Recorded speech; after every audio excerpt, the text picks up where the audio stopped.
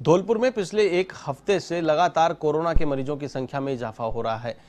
Corona संक्रमण ज़िले के शहरी और ग्रामीण क्षेत्रों में लगातार फैल रहा है। इसी बीच आज उनचालीस नए कोरोना पॉजिटिव मिलने से मरीजों का आंकड़ा बढ़कर दो सौ चौरानवे हो गया है, जिससे जिला प्रशासन और चिकित्सा विभाग में हड़कंप मच गया। लेकिन जिस तरह से कोरोना रोगियों की संख्या में इजाफा हो रहा है, वैसे ही बाड़ी उपखंड के क्वारंटाइन सेंटर में सरकारी गाइडलाइन को दरकिनार किया जा रहा है। दरअसल, क्वारंटाइन सेंटर में रहने वाले मरीजों का कहना है कि यहाँ खाने की व्यवस्था ठीक नहीं है और ना ही ठीक से मरीजों की देखभाल की जा रही है, जिससे इन मरीजों में आक्रोश की स्थिति बनी हुई है।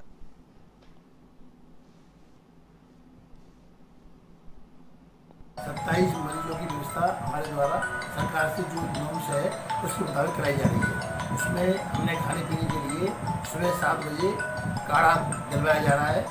आठ से नौ के बीच में नाश्ता और ग्यारह से बारह के बीच में खाना और चार से पाँच के बीच में पूरे नाश्ता और चाय और सात से आठ के बीच में खाने की व्यवस्था कराई गई देश और दुनिया की हर छोटी बड़ी खबर के लिए सब्सक्राइब करें एवन टीवी न्यूज़ साथ ही बेल आइकन को प्रेस करें ताकि आप पा सकें ताज़ा खबरों की नोटिफिकेशन